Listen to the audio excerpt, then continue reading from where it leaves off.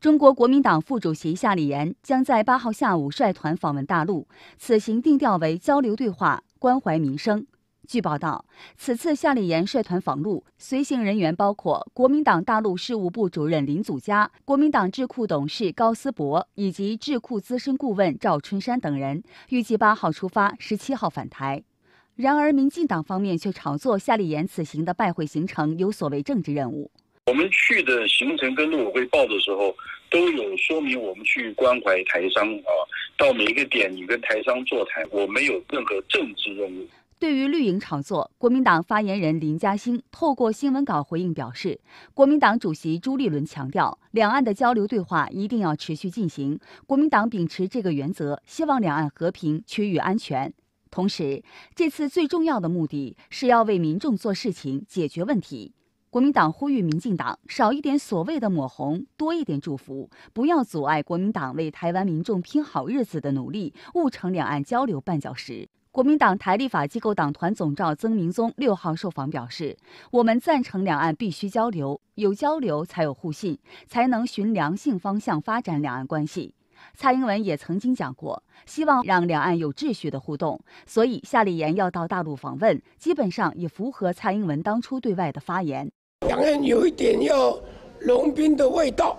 这个时候出访大陆没有问题。国民党明代李德维则指出，国民党持续追求两岸和平。针对夏立言访问大陆，比起现在民进党终止两岸对话，对台湾人民有帮助多了。希望夏立言访问可以顺利，把更多台湾人的心声带到大陆，也可以争取两岸和平。不要让这么多台湾人民的血汗钱拿去买武器，这才更有价值。民进党政权他们的含义的认为，他们的选票必须要这个奠基于所谓的抗中反中的基础上，才能够获得政权。这一次呢，民进党眼看着国民党成型，即使不只是国民党要赴大陆访问，有很多的工商团体啦，也有很多的这个社会团体也都纷纷的正在组团当中，这个也都表现出两岸交流一个新的气氛。但民进党呢是妨碍这股气氛的人，他看在眼里面。虽然蔡英文有公开讲过，希望两岸之间能够对话、能够交流，但他自己心知肚明，他们所采取的台独路线，所采取的这种亲美反中的路线，当然不可能为大陆所接受。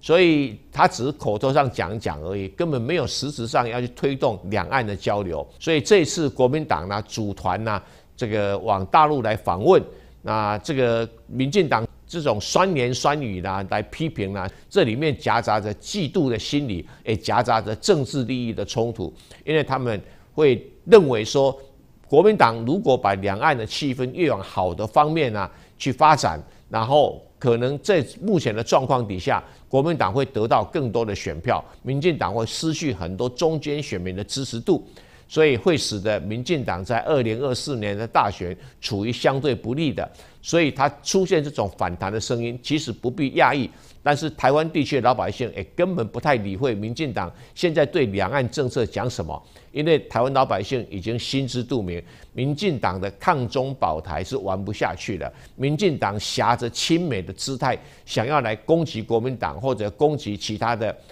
不属于民进党阵营的政治势力呢，已经不再会有相同的效果了。